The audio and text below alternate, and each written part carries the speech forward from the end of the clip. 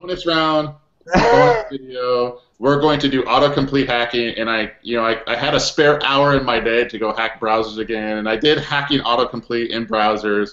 What was it like two years ago now? And you know, had to rip out passwords and people's names, and I was doing keystroke simulation. So I wanted to go back in the browsers, particularly Safari and Chrome, to see what if they fix if anything. So I'm going to screencast right here. I'm going to walk you through this stuff so uh, what I built last night. And I make no claim that any of this is new.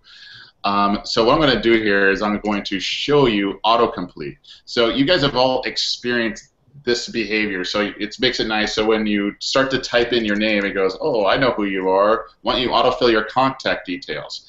What's different about Safari is it actually pulls your autofill information from your from your address book, from your contacts application. So right out of there. So it really doesn't matter if you've typed in your name into the browser before because this is on by default.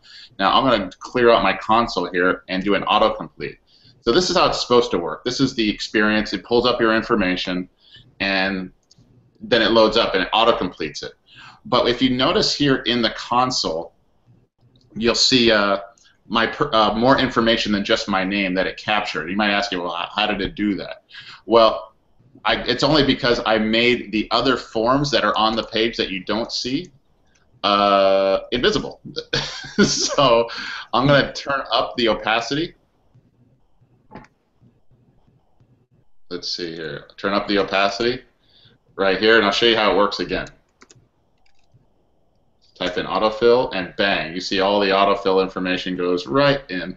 So anyway, I just want to show you. So that's Safari. It works the, nearly the same way in Chrome.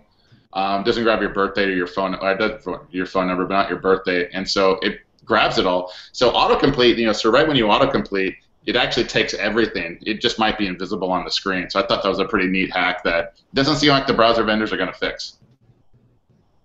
Just for anyone who doesn't get the visualization, that's actually JavaScript grabbing all that stuff out of those invisible forms and sending it back to the server. So yeah. it can make you think that you're just giving them your name which is innocuous, but then there's all this other juicy stuff that they can grab at the same time.